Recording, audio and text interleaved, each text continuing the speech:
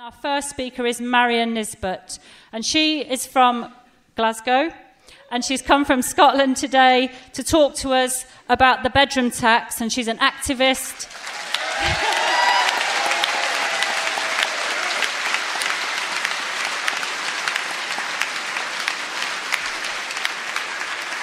She's an activist with the Anti Bedroom Tax Federation. So I introduce Marian. Thank you.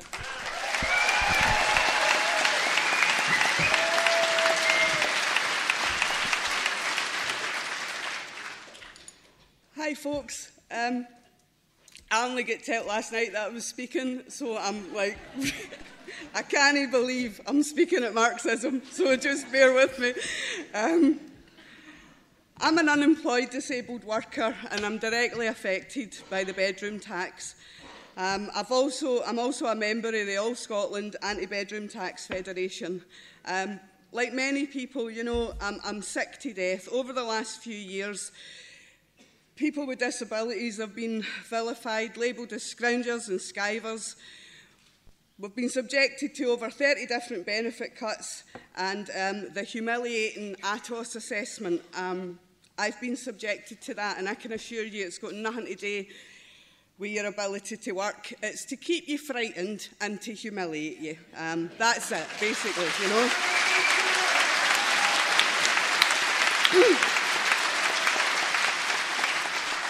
So, um, when they announced the bedroom tax, I think, like an awful lot of people, I just said, that's it, this is the final straw, I've had enough.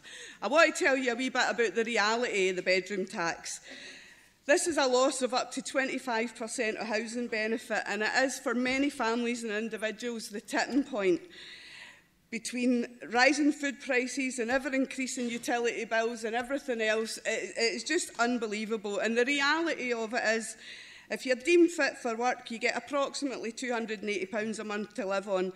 If you're unfortunate enough to have two spare rooms, um, this means that you lose approximately £80 a month in housing benefit. Now, you could be the best money manager in the world and you couldn't make it work. You know, it's, it's just outrageous what they're asking people to do. 80% of the people that are affected are, are disabled individuals or the, you know, the household has um, a disabled person in the house. But I think it's important to mention that 50% of the people that are claiming housing benefit are people who are actually working and they're working for such disgracefully low wages that they have to claim this benefit.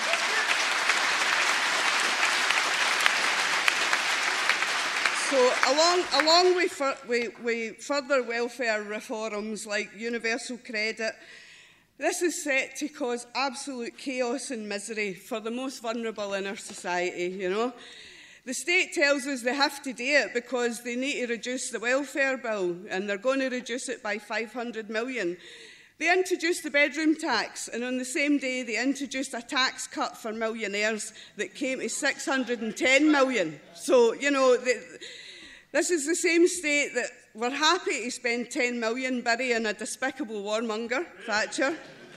I could go on, but I won't. Um, they also are happy to spend 1000 billion, eh, sorry, 100 billion on Trident. So let's get one thing straight. This is get. Thanks, John. this is getting absolutely nothing to do with saving money.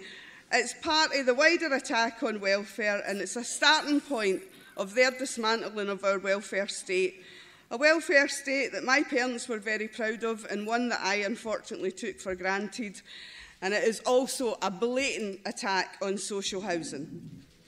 How dare they attack the idea of a family home for working class people Young people are no longer going to have the backup. You know, if life throws you a bad turn, you'll not be able to go back to your mum's because your mum will not have a spare room, you know.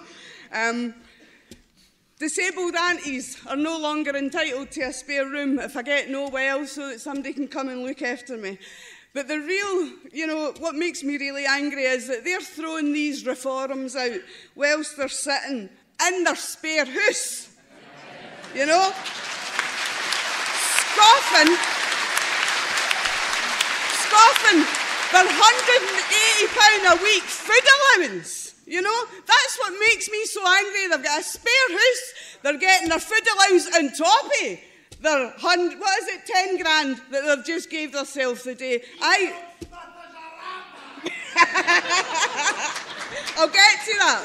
Um, So basically, I'm here to tell you a wee bit about what we've been doing in Scotland um, as, as a fight back to this. The anti-bedroom tax movement is growing and it's been assisted by social media and a strong grassroots movement that is dominated by working class women, of which I'm one. Um,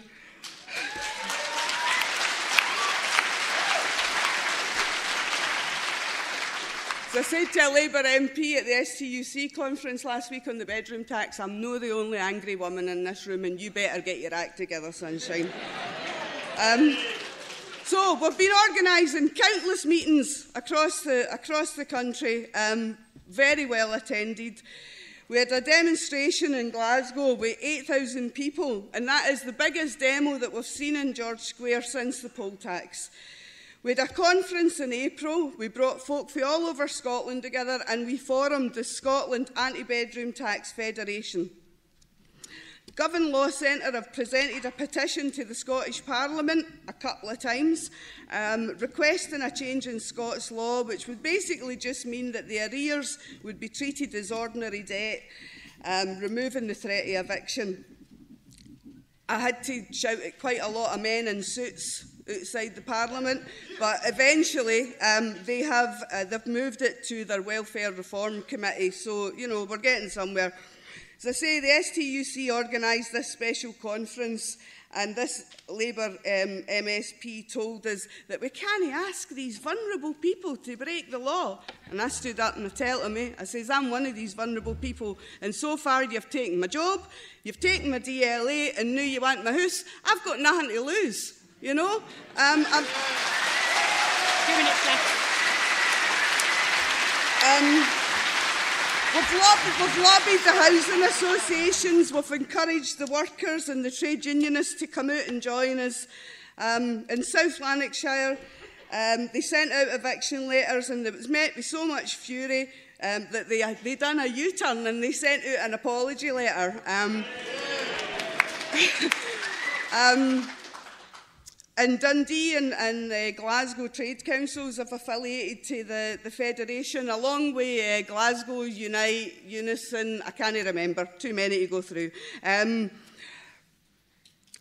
but most importantly, we've created an anti-eviction army with every area creating its own group, but with strong links through the Federation. And this is so that we can create a human wall to protect the vulnerable should the sheriff be silly enough to attempt an eviction. We've got forum for this. We've got forum for this in Glasgow. In 1915, the women of Glasgow organised a rent strike. And at the height of this strike, up to 95% of the rents weren't being paid. Prominent figures such as Mary Barbour organised and overcame the sectarian and cultural differences within the communities, created a united front backed by trade unions of the Red Clydeside. This campaign was successful, you know, and, and we intend um, to make to make our campaign as successful. I'm proud to be a part of the 21st century version of Mrs Barbour's Army. And we, we have a wee saying, we have a wee saying. Um, from Govanhill in Glasgow, and at the very first meeting of the Federation, another woman called Fiona Jordan stood up, and she'd never spoken in public before, but she says, if you stand with me, I'll stand with you. And it's as simple as that, you know? Even if you're not affected by the bedroom tax, we want you to be offended by it, you know, and, and come out and join us. Um, during the poll tax, there wasn't a single um, eviction, sorry, there wasn't um, a, a single warrant sale completed in Glasgow and we're determined to keep our good reputation and by any means necessary we will stop evictions due to the bedroom tax arrears. So what do you need to do? You need to get out into your community, you need to get into the schemes, you need to encourage folk to get angry and get organised. Chap doors, reach these vulnerable women and families. I've been that woman sitting, close, closing the curtains, drop my diazepam or whatever, you know, a bottle of wine and going, how the hell do I cope? And I'm not that woman anymore, but see, for every woman that's gobby enough to stand here and shout, there's thousands sitting going, how the hell am I going to manage? So chap their doors, make it clear to them that they're no longer alone, encourage political activism, encourage civil disobedience, join the global fight against austerity, Let's try to make fear change sides from Cairo to Castlemilk. Thanks very much. I'm going to introduce our next speaker, which is, uh, who is Mireia Gargallo, who has come from Barcelona to join us today, from Catalonia.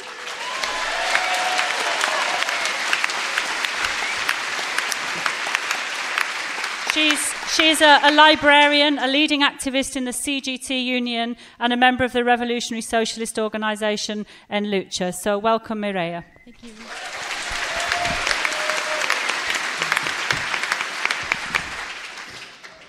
Today, in a Spanish state, there are over 6 million people unemployed, 27% of active, active population. Nearly a third of the population are now living under the poverty line, which today means a total of 12,741,434 people. 500 evictions take place every day in Spain, while 3.4 million homes are empty. I live in the same country where Amancio Ortega lives, one of the richest men in Europe. His fortune amounts to 39,000 million euros. This is more than all the money received in social benefits by unemployed.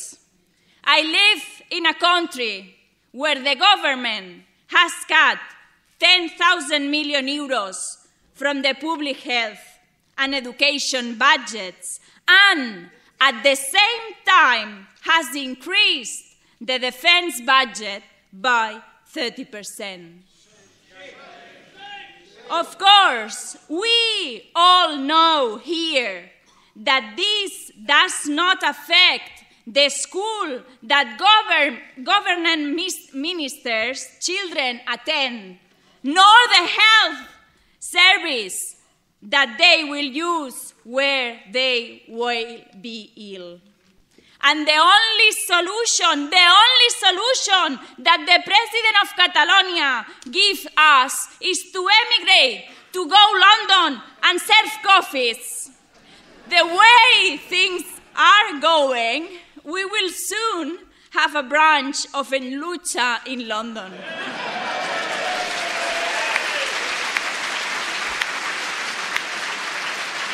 Be careful, be careful, be careful, be careful. And, and in this appalling situation, they still have the nerve to tell us that we have lived beyond our means. We should remember that 84% of this debt they tell us we all have to pay off is a private debt, mostly created by the banks and private companies. The debt owned by the public sector amounts to only 60%.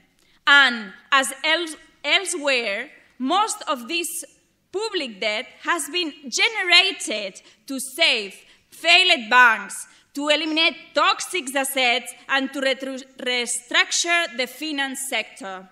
And of course, in the Spanish state, as elsewhere, those, those responsible for this debt have converted their private debt into a public debt. Now, the existence of this debt has been used by the Troika to impose vicious austerity, austerity policies which have led to devastating cuts in basic services such as health and education. Faced with this situation where the interests of the markets are put before the interests of the great mass of the population, we say the only solution in the Spanish state and everywhere else is not to pay a debt that is not ours, that we have not caused.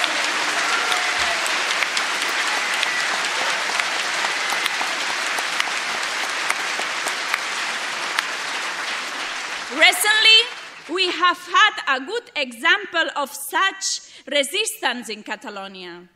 In the town of Badalona, where we have lots of comrades, the local people have managed, through permanent mobilization and a struggle, to force the local town council to become the first public institution in the state to declare the public debt as illegitimate.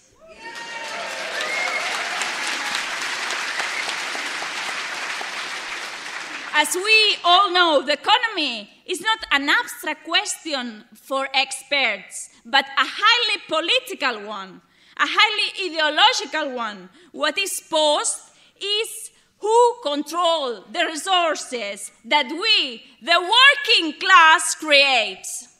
Our interests as workers clash directly with the interests of the European Central Bank and the Internationally Monetary Fund. Is us or them? Is our health service, our education, our social service, or their profits? For this reason, we, the precarious, the women, youth, and all workers have to struggle so that the cause of the crisis, their crisis, does not fall on our shoulders.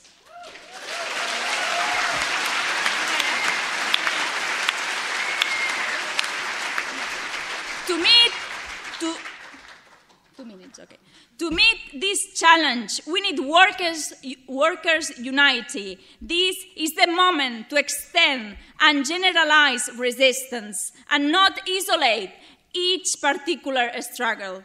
I am sure that it won't surprise you that the bureaucracy of the main trade unions in a Spanish state is not uniting workers so they can resist, but the rank and file, along with the smaller, more combative unions, are connecting with sectorial struggles and can lead to their radicalization. We have to turn even the more militant, militant unions upside, upside down and understand that it is necessary to modernize their structures and include the more precarious sectors, as, uh, such as call center workers or women cleaners, that do not fit simply with the prototype of the industrial worker. Even inside my own union, the CGT, which is a radical union, we have understood in the IT coordinating committee, Coordinadora de Informática, of which I am a member, that we need to create new structures. This does not mean that other more traditional methods still remain indispensable, above all strikes, but strikes where the workers control what is happening through mass democratic assemblies. The ruling class tries hard to convince us that strikes are not useful, that trade unions are useless, and that the workers in our sector will never be mobilized. mobilized. Our answer was clear. We had a strike in Hewlett Packard where the vast majority of the staff stopped working. We had important picket lines with more than 300 workers at the, worker, at the headquarters of the company in Sant Cugat.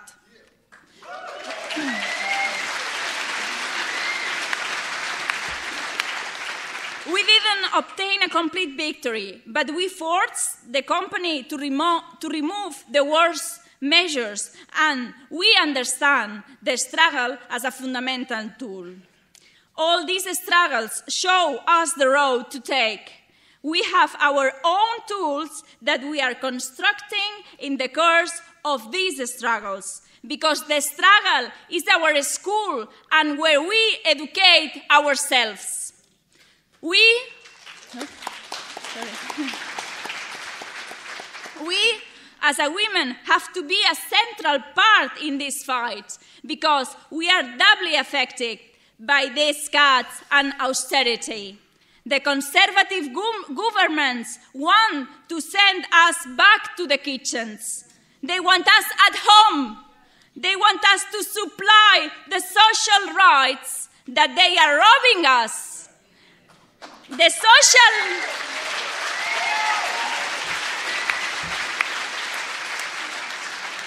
the social rights that our grandmothers won for us in the street, but also in their homes. They want to relegate us to a second class citizenship. They want to decide for us, decide of our bodies, even, even in our beds. And I say to the president of Catalonia, I love who I want to love.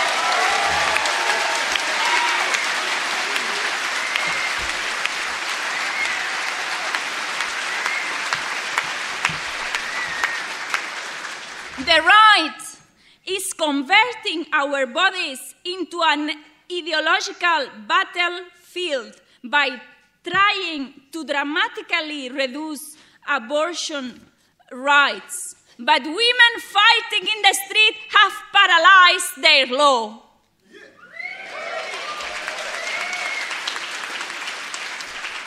Tories, gentlemen of the right, we will not go back to our homes. We will decide who we want to love, and we will control our bodies.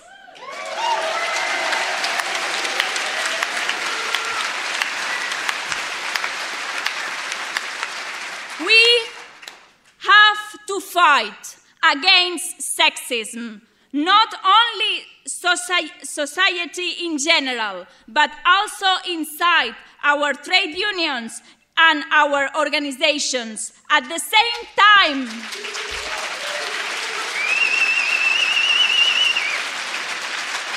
at, this, at the same at the same time as we are fighting against cuts and against sackings.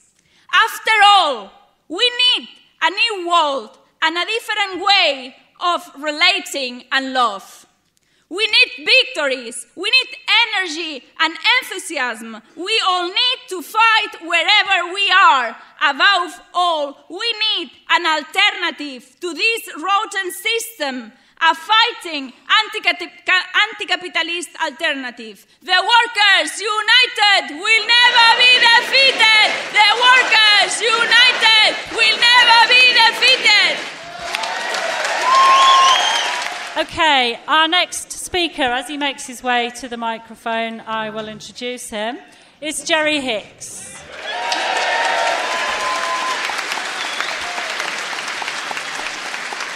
Jerry is a Unite activist, and he recently was the runner up in the election for General Secretary, where he polled 36% of the vote.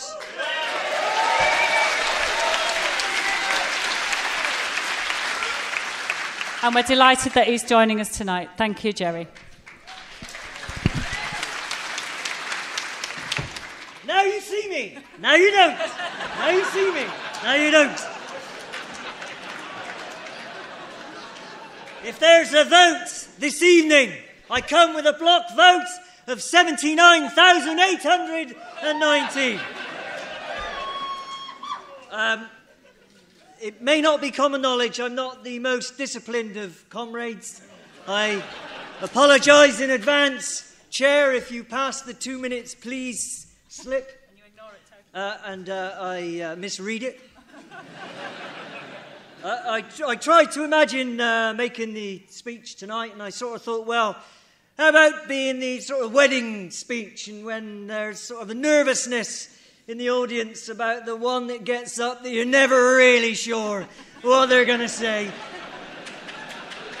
Well, well, for Ian Allinson, rest.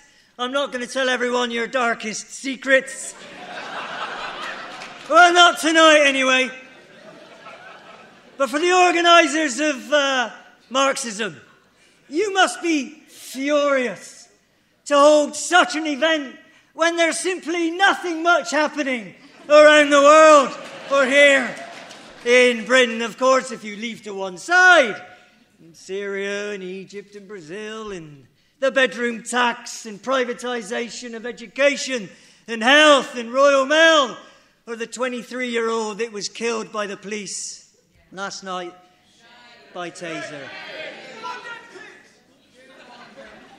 And then, Falkirk.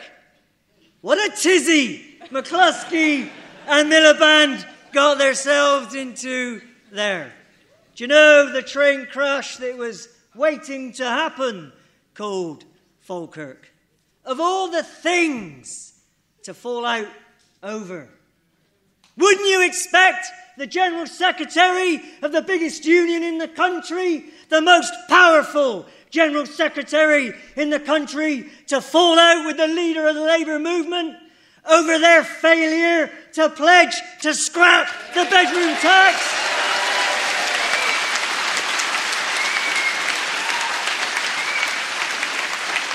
Wouldn't you think the leader of Unite would fall out with, with Ed, nearly said David then, Ed Miliband, over their refusal to repeal the anti union laws? Wouldn't you think? No. No. They choose to fall out on the selection of an MP or prospective parliamentary candidate in Falkirk. McCluskey says to get more working people into politics, wouldn't you know? You know, this particular one, I have no axe to grind. Well, not this time. Is an appointed Unison official who works for Tom Watson and shares a flat with both McCluskey and Watson, I'm told. Nothing ordinary and probably nothing working class. And almost all with the other ones that Unite have backed, I think, Michael Crick has discovered on our behalf. And then there's Andrew Murray. Not the Andrew Murray in Unite, who is the uh, Chief of Staff. There's a title for an appointed union official, Chief of Staff. No, I'm referring to uh, Andy Murray of Wimbledon fame. And the BBC, actually followed by Cameron yesterday, claimed that uh, Andy Murray was the, uh, the first uh, British tennis player to win Wimbledon for 77 years, completely forgetting, of course, Virginia Wade, but she's a woman, and they can't possibly be as equal, can they? Can they? The BBC, the BBC, though, mysteriously, they covered their tracks all right. They said Andrew Murray is the first British tennis player to win Wimbledon in shorts. Because, I kid you not, they said this because Fred Perry wore long trousers and Virginia Wade wore a skirt. However, on the back of this fabulous success, I didn't rush out and buy a tennis racket. No, not for me. I'd already spent all my money on a cycling shirt following uh, the uh, Wiggins and Victoria Pendleton success. But the point, and there is, stay with me, the point that I'm making is we are influenced and we make choices and decisions. For me, it was a cycling shirt. If you make those choices and those decisions in the bubble of a committee, be it trade union or otherwise, or you make those decisions in the bubble of a party, political or otherwise, you can come to a poor analysis. You can make skewed decisions. You can think that some things are more popular than they are. For you know, I was told that Len McCluskey was the most popular General Secretary of a trade union. He was very popular And you know, you can overplay the popularity stakes, although I'm not, uh, not don't doubt that the CC at the moment are uh, blighted with overpopularity stakes. But you can play the overpopularity stakes because for how did Len McCluskey manifest its popularity? At the behest of Labour, he pulled forward the election timetable for the biggest union in the country, the election, the only election everyone else is appointed by three years at the behest of Labour and Ed Miliband. Strange now. He said to avoid the embarrassing clash and any embarrassing clash with Labour. Falkirk, Falkirk, Falkirk. you know, he did it. He manoeuvred. He brought it forward three years. It was a snap election, all in a bid to be unopposed. And he nearly got away with it. No, but for us, kid.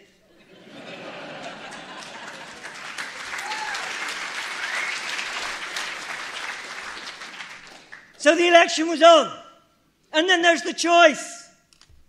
Some, to their discredit, and in my view, their shame, We're on the wrong side of history.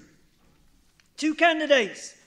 One who believes in appointments, £122,000 per year at least, who's wedded to Labour no matter what the protestations, pay up front, unconditional. The other, a rank and file candidate, a grassroots left candidate. You were the candidate. There is no choice to make, but some made the wrong choice. You, to your great credit, and a number of others, Workers' Power, are on the right side of history. so the election's on! The election's on! And how did it go, this snap election, with the smallest timescale of all? Not once, not once did Len McCluskey, this most popular of General Secretaries, who had hundreds of officials at his disposal would meet head to head. Can you imagine why? If he has all the arguments. This candidate spent nearly £300,000 on their campaign. We, we spent 4,000. I'm still waiting for some of the pledges to come through. But if you thought that was grotesque enough, I tell you, our campaign moved, moved like no other. In the factories, from the inside, from the outside, people in Unite, not in Unite, in the high street banks, in the bus depots and garages. It moved like no other, and they knew it. And how did this red Len, popular Len, react? Let me tell you. With vile, bile, with innuendo, with slander. Red Len turned to red baiting, and he then lost all credibility to call himself left because he courted the right wing vote.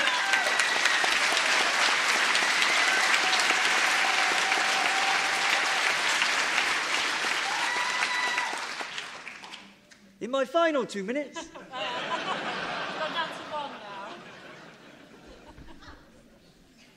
However,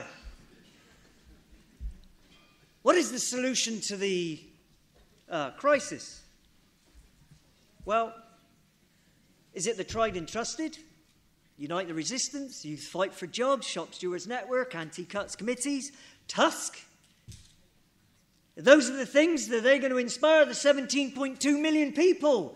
They watched Andrew Murray, and they're not all public schoolboys, those 17.2 million. They might not all call for the overthrow of the system, but I tell you, the majority of them would be against the privatisation of Royal Mail.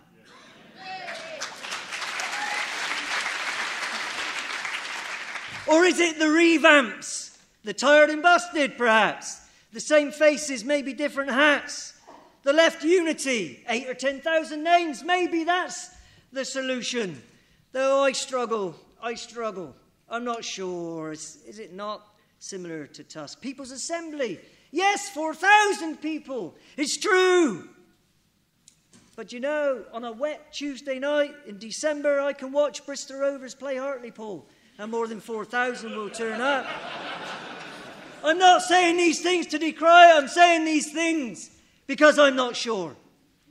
What I know, what I know is 38 Degrees was popular, UK Uncut is popular, Flash Mobs are popular, Occupy was popular, and imagine at the height of the Occupy movement, if the General Secretary of the biggest union in the country had taken a Unite tent outside St. Paul's Cathedral and demanded the bankers handed it back. Imagine, imagine.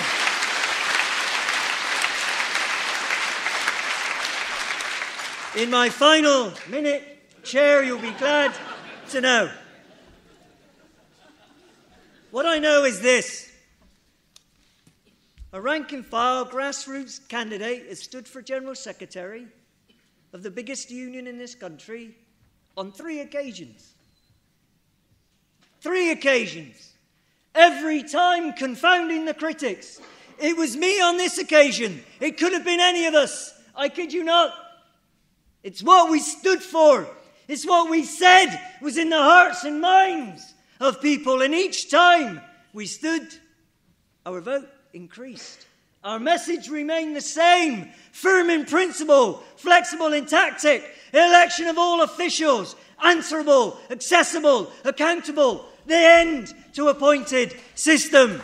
A general secretary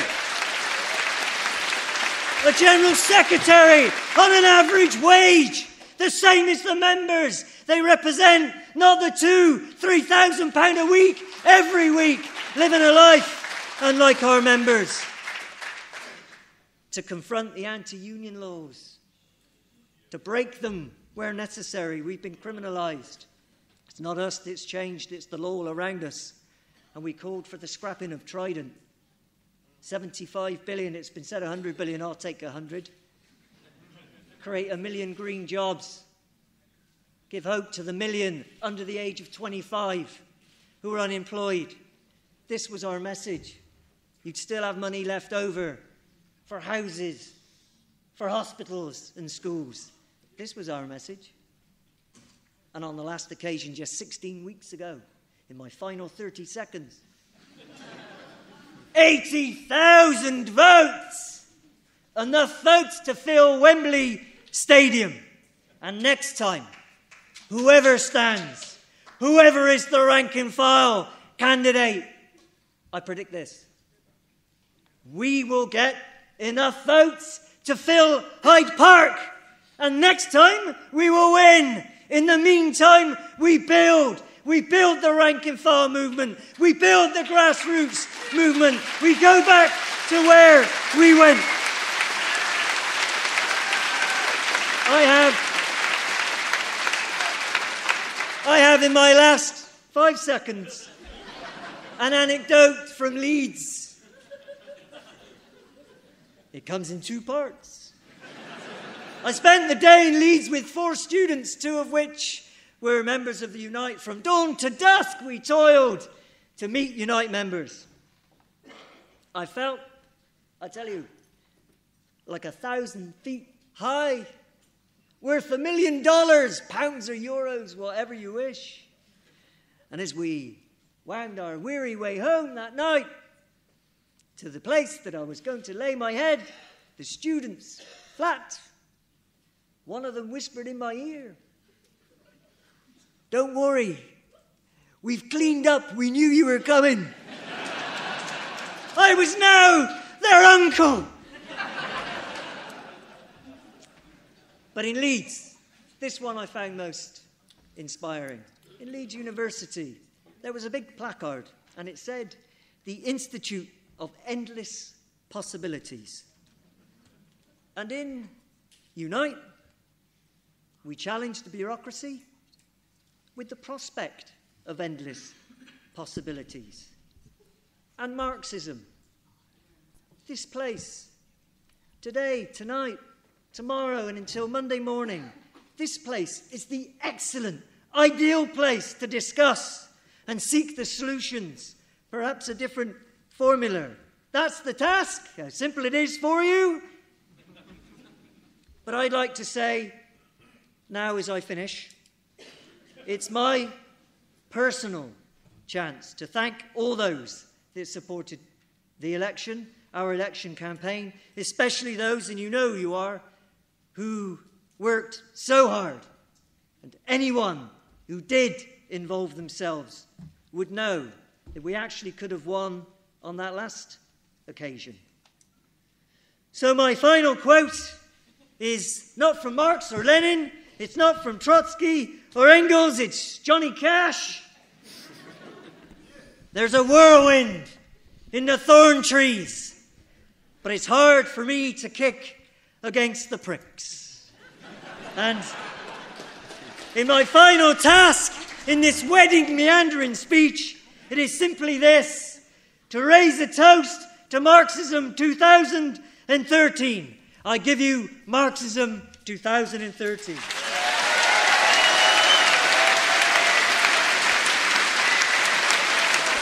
Next, I'm going to call Jo, Jo Cardwell from the Socialist Workers' Party, member of the Central Committee. Thank you, Jo.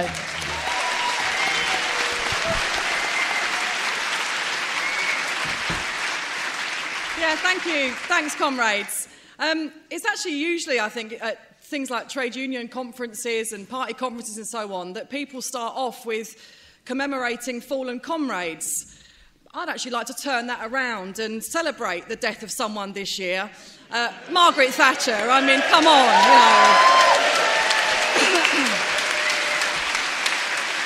know. at least have one more cheer out of it, can't we? But of course, the problem is, is that while she's gone, we're still dealing with her successor under uh, the guise of David Cameron, an Eton boy who uh, is trying to lecture uh, people over party funding. And I know people have made some, raised some issues around party funding already, but I just really want to look at what happens in the Tory party because I think the idea, whatever you think of Labour, the idea that we should take lessons or Labour should take lessons from people like the Conservative Party over Tory funding, I think we should reject that totally. I don't know whether you've heard of the Bamford family at all. Uh, they are the family of JCB fame. Uh, Sir Anthony Bamford, Mark Bamford, George Bamford. There's also other donations into the Tory party from JCB Bamford Excavators, JCB Research, JCB World Brown, Brands, all donated to the Tory party. Just if you tie it all up, in the last 10 years, £4 million from one family into the Conservative Party. I mean, the reason why they break these down into these different individuals is you have to be a sleuth, actually. I mean, it took somebody a couple of years to really research and track down, actually, the funding uh, of, the, of the Conservative Party. And they found that 15 families account for a third of all of the Tory party donations. I mean, really. Now, you contrast this to the funding of Labour, in which we find that actually it works out on average of a contribution of six pence per worker per year. And David Cameron, you're trying to tell us about funding of parties. I mean, this is a disgrace that these people are allowed to do that. The problem isn't a few wor- of workers giving a few pence a year to the Labour Party. The problem is a tiny number of individuals who are getting away with the most revolting corruption and greed and getting a massive return for their investment from this government.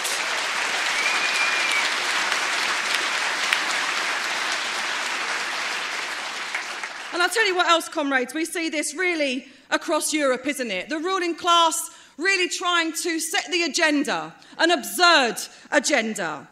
I mean, one of the biggest lies, of course, that we're hearing around austerity is that we're all in this together.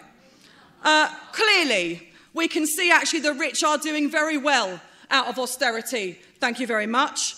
In Greece, in Spain, in Portugal, workers are facing massive and savage cuts. But actually, the Troika are actually making interest off the back of the loans that are actually forcing people into poverty in these, in these countries. All in it together? I don't think so. And it's always the wrong way round because the people who didn't create the crisis are the people who are being attacked and the people who are being blamed for it. And it's not just around, you know, we've heard of some of the incredible stuff that's happened around the, the bedroom tax, but also when you think about the attacks on benefits claimants, full stop, and on the disabled, I mean, it's really quite remarkable. I mean, I read a story about a man who found a novel way, actually, of getting around the ATOS assessments, a guy called George Brumby, who can't work because he has chronic arthritis. Uh, when he was assessed by ATOS, of course, they found him fit to work. And they said in the report, and he challenged the inaccuracies in the report, that he could actually climb stairs. It turns out there wasn't even a set of stairs in the place where they did the assessment for them to even show whether the man could climb stairs or not. So George Brumby actually tried to challenge this and put an appeal against this, and during this process actually developed quite a severe depression in terms of doing this as well. And no longer able to wait for the appeal, he put a new claim in for, for his benefits and a new claim to be assessed. And when they assessed him, they actually found this time round that he did actually deserve those benefits in the first place. But what was it that tipped the balance, comrades, this time round? The depression that he developed between these two assessments was what tipped the balance and gave that man back his benefits. This is what they are doing to people in the process of their attacks on our, on our class. And I bet you that George Brumby doesn't feel like we're all in this together. On top of that, I mean, I know people have mentioned the, uh, the MP's pay, but I mean, you should rest assured uh, that despite the fact that we're going to see a 10% rise in their pay packets, we shouldn't worry because the uh, £15 dinner expenses are being scrapped. So actually, it's all right, you know, some of the expenses are going to be stopped and so on and so forth. But really quite revolting, isn't it, when you think about the public sector pay workers who are experiencing either a pay freeze or, or 1%. I mean, they showed in the figures that the average worker's pay has actually increased by 2%. I say average because there's clearly people who have actually had massive, uh, who've had cuts as well. Uh, the RPI at the moment is currently 3.2%. It really, what it means is on average that people are experiencing a 1.2% pay cut. And the RPI, I actually think, is quite a dubious figure because the way in which prices hit the poorest, you look at how much the housing prices are contributing towards RPI, actually, I think people are being hit harder every single time. So our average is pay increases are around 2%. What do you think the average is for senior directors' pay in this country? I mean, would you wager lower or higher than, than what we're seeing? Higher. I could almost do, you know, play your cards right on this one. But uh, yeah, 17.8% actually is the average increase in senior directors' pay. And not just that, but their bonuses are now the equivalent to 37.8% of their salaries. Now, when you look across managers, managers across industry actually are apparently similar average to workers in that they have a 2% uh, pay rise.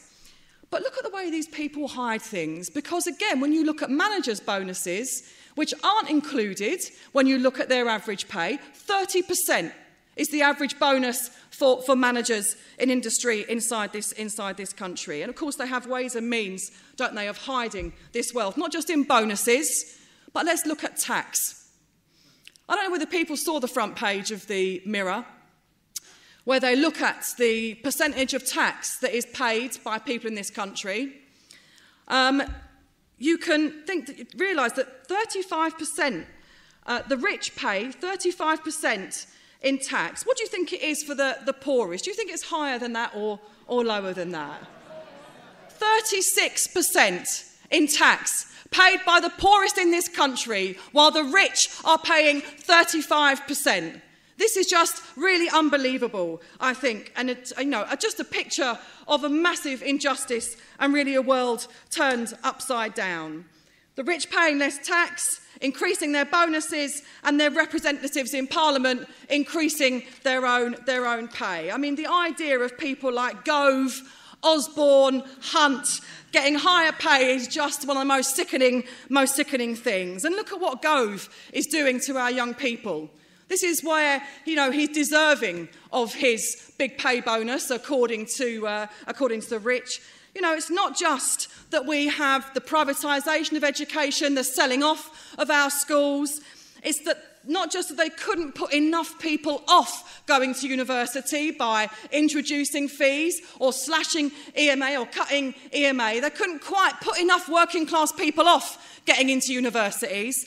And so, therefore, what they've decided to do is to make a change in the GCSE gradings, to actually introduce further testing into primary schools. Our children are doing too well, and the Tories and the Eton boys want to test them into oblivion, want to push their grade down through changing GCSEs. They want to make our children fail. This is what they're getting paid extra for.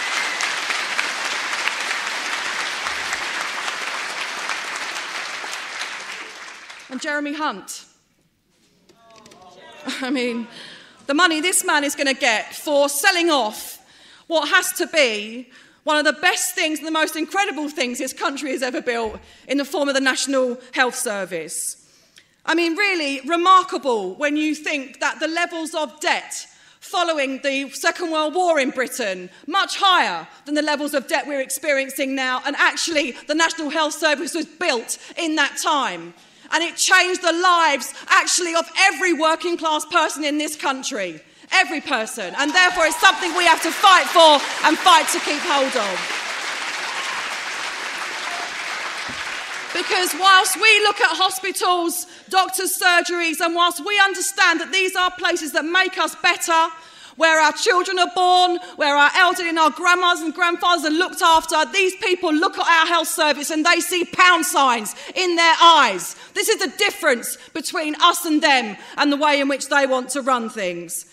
And actually, you know, when you think, I mean, goodness, the, the lies that come out around how we justify what's going on or the problems around the National Health Service, apparently not the crisis, apparently some of the problems now are health tourism. This is where they are now looking to point the finger and put the blame. Not apparently on a massive defence budget of billions actually where you know we can afford to go and still around and occupy places like Afghanistan. But no the real problem apparently in funding our national health service is someone that wasn't born here who might happen to fall ill while they're here who might happen to have a heart attack or need treatment. This is apparently the problem. And therefore, when you think about the disgusting levels of racism that are being promoted by people like UKIP, I mean, what a UKIP, let's not get started just on the details of UKIP, but UKIP is an organisation, a party, that actually wants to build seven new aircraft carriers. 48.3 billion pounds they would spend on this. This is half the funding of the National Health Service. And these people are trying to get us to blame immigrants and refugees for the problems of the National Health Service. I don't think so.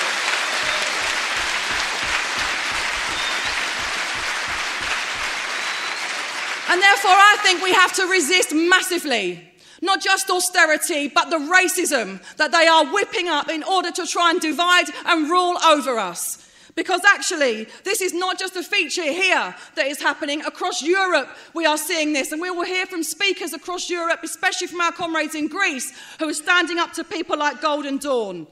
And what do we see here? The EDL trying to capitalise on the murder of Lee Rigby, trying to capitalise on the background of racism, actually, and trying to divide and trying to march. And that's why I feel so proud to be a part of Unite Against Fascism. Because actually,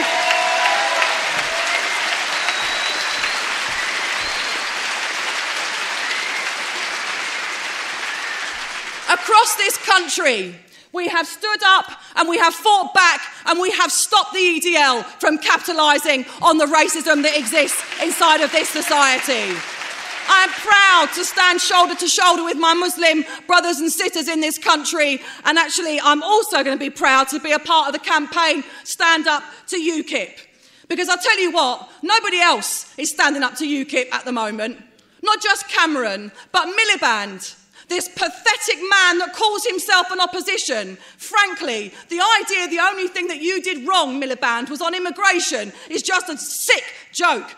Actually, the triangulation that is taking place here around this I think is something that we have to really be a part of resisting. And actually, being part of that resistance, standing up against racism means we can stop them from walking all over us.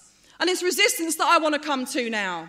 Because actually, the backdrop of what we are meeting in, the inspiration of the millions that we have seen in Turkey, the millions that we've seen out striking across Europe. I'm so looking forward to hearing about the struggles and the resistance in Brazil. Actually, these are all the things that we need to be looking at and inspiring us to fight back because austerity is hitting us, but it's hitting us at different times. Actually, we're not experiencing the same things in Greece, in Britain, in France all at the same time. It's hitting us in different ways. And actually, when you look in Britain and the different phases of struggle that we have had here, First, the student revolts, then the big TUC demonstration, then the millions out on strike in November, sabotaged by union leaders. But actually, we don't see just a set of workers who feel defeated. We see a set of workers, and you can tell this from some of the union conferences, from the vote that Jerry Hicks got in Unite, that people's conclusion is not that they can't fight and win, is that they haven't got the right leadership in terms of fighting back and winning. Therefore, don't tell me, don't tell me there isn't the will to resist inside this country, because I believe there is. The People's Assembly of 4,000, I think, was an incredible start to actually showing us that people do want to fight back and they do want to resist. But this is not generalised into an easy, organisable form, comrades, and that is what we have to fight and grapple with. Because actually, when the firefighters are balloting for strike action, we need to be there backing them up and fighting for a yes vote.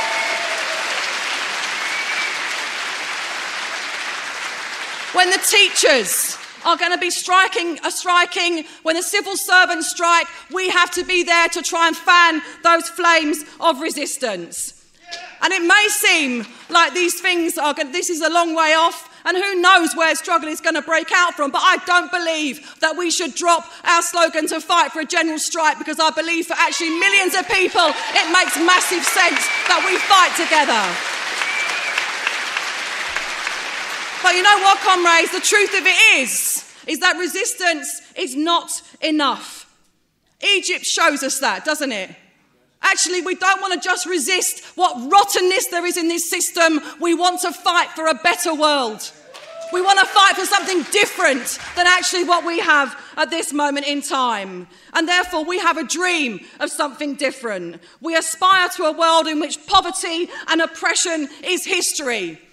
Actually, when you look at our comrades in Egypt who are fighting back not just against the army, fighting back against sexism, fighting for liberation is a part of our tradition. We want to fight for women's liberation, gay liberation. We want to fight against racism. All of these things are a part of our tradition and a part of our dream for what we see inside of our future.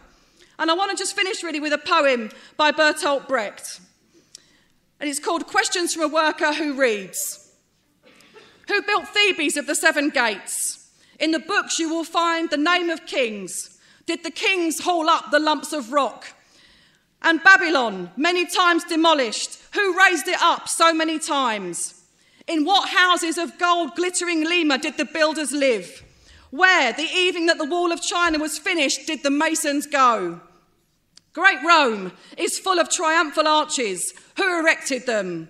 Over whom did the Caesars triumph? Had Byzantium much praised in song only palaces for its inhabitants? Even in fabled Atlantis, the night the ocean engulfed it, the drowning still bawled for their slaves. The young Alexander conquered India. Was he alone? Caesar beat the Gauls. Did he not even have a cook with him? Philip of Spain wept when his armada went down. Was he the only one to weep? Frederick II won the Seven Years' War. Who else won it? Every page of victory. Who cooked the feast for the victors? Every 10 years, a great man who paid the bill. So many reports, so many questions. And I hope, comrades, that over the next few days in Marxism that we try and answer some of these questions. But not just that. I hope that you will join the Socialist Workers' Party in resisting not just capitalism, but fighting for a better world for everybody. Okay, our last speaker, we are absolutely delighted that uh, Henrique Sanchez has flown over today from Brazil.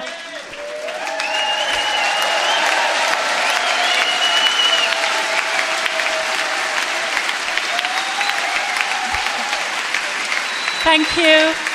Henrique is a socialist and an activist from Sao Paulo, and he's going to be our last speaker tonight. Thank you, Henrique. Good evening or good afternoon in Brazil. I'm handling this, this time, this, this change, but I'm okay, just kidding. Uh, it's a big responsibility after such impressive speeches to speak here. I remember the last time I was here, the first time five years ago. I was in the audience, and then I'm closing the, the opening rally.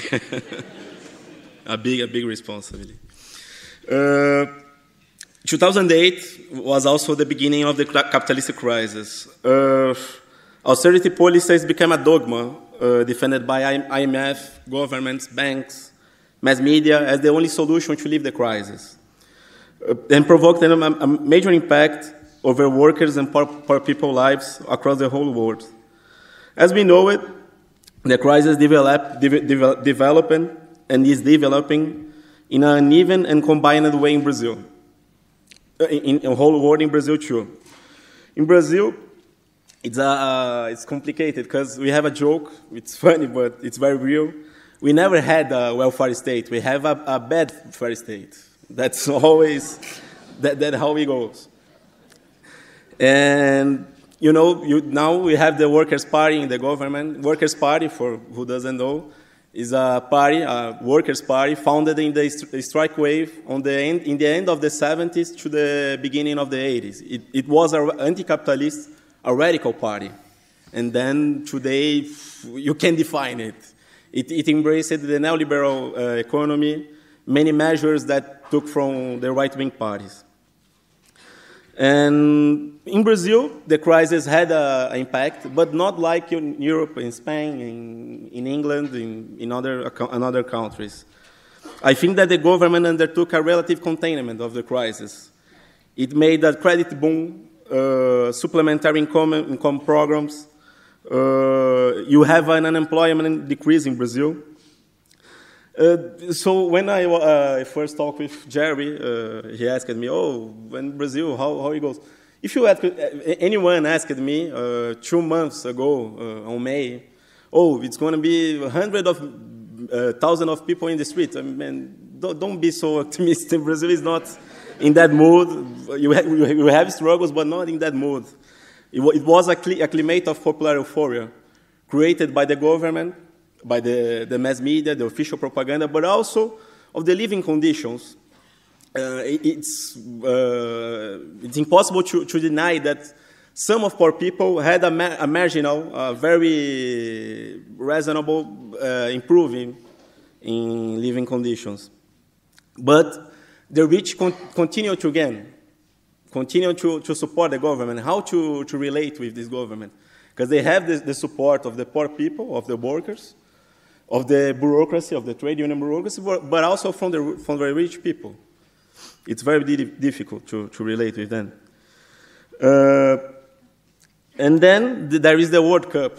Uh, Brazil is the, they, they say, I don't know, the, so the country of the soccer. I, I prefer you because you invented the soccer created the soccer.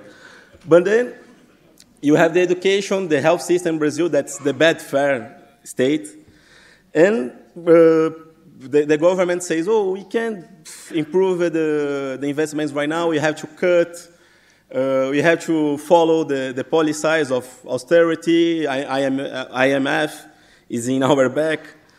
And then World Cups uh, appeared, and the, and the states put uh, billions of, of, of, Brazilian reais, of dollars, in World Cup stadiums.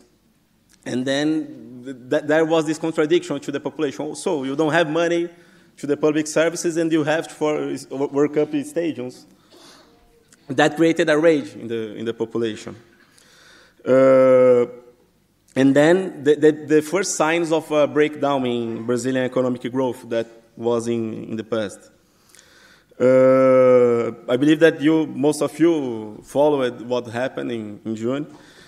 It, it, was sparked by the, the announcement in São Paulo of the public transport fares increasing in the fares in, for, for the mayor, that's from the Workers' Party municipal government, and the governor, that's the right wing opposition party to, to Workers' Party.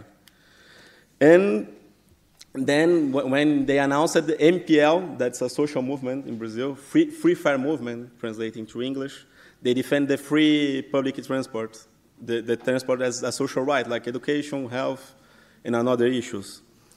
They, they started to call many, they started to call protests against this, this public, transfer, uh, public transport fare increase. And then, in the first moment, there were some young people, some radicalized young workers, but one wasn't, weren't massive as the, the thing was going on in the movement. Uh, then, uh, on June 11th, I think, June 11th, there was a brutal police repression against the, I think, uh, 10,000 of activists, two minutes already. Uh, and then I think the, the mass media was against the movement. Oh, they are all vandals. They are all people who doesn't care for, for transport and public services.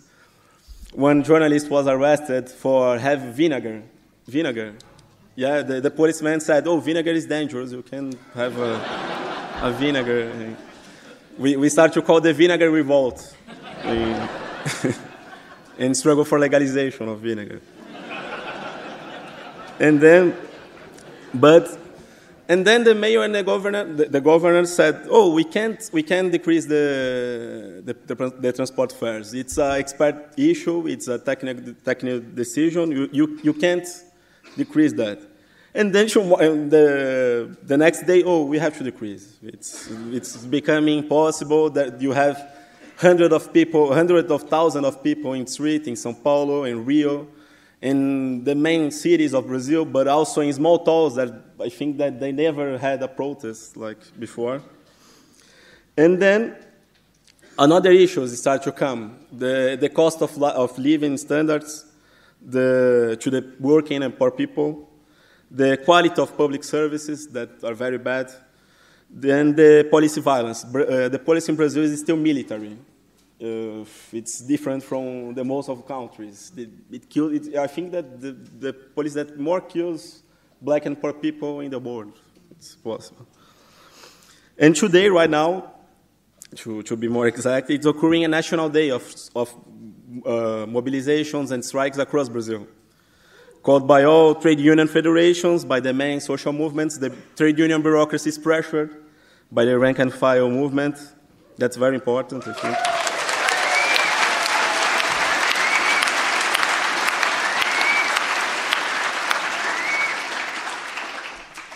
But I think what, what can shape the future of movement is the rank and file movement and the pressure from below, the self organization in workplaces, in suburbs. There were protests. One minute, I will try to, to resume. The, there were protests in suburbs in Sao Paulo and Rio. There, there are focus of popular organizations that never, that, never, was, never were in the past. But you have accumulation of struggles from, from the recent period there was the, the rebellion in Jirau. Jirau is an electrical, electrical dam that uh, it's, I think uh, it has 40,000 40, of workers, and they working like in, in, almost in slavery conditions. That, that was very complicated. And the trade union bureaucracy was against the, the workers. So you see how, how it goes in, in the social movement in Brazil.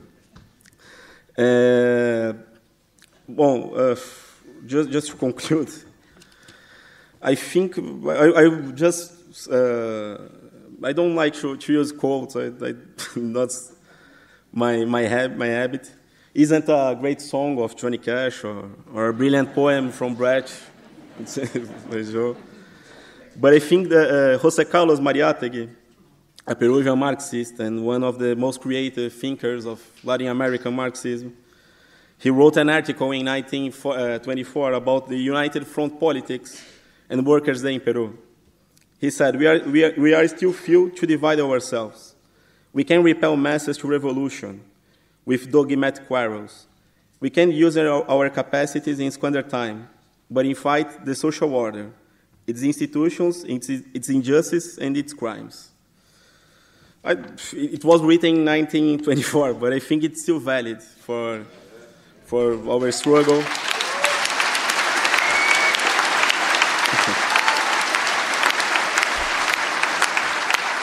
I think all the movements of global resistance, the, the revolutions in Egypt, in, in Tunisia, the fighting in Turkey now, the rebellions and general strikes in Greece, the indignados in Spain, all of them inspired us and gave us confidence to go to streets.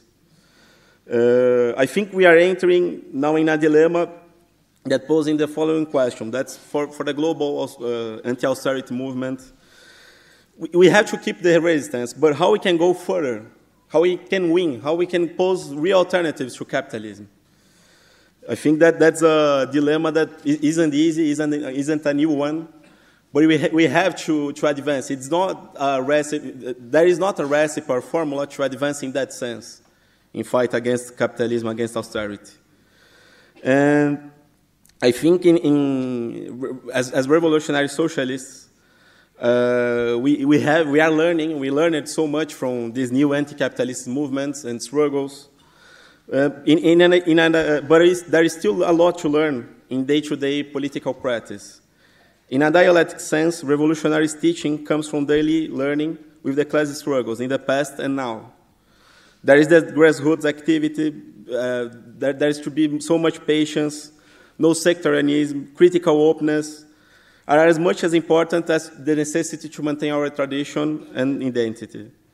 But traditions are always reinvented, and know how to invent how know how to reinvent ourselves is a fundamental step to the huge task of bringing more dozens of millions to the streets and worker pla- workplace and go further against crisis, austerity, and capitalism. That's, that's it.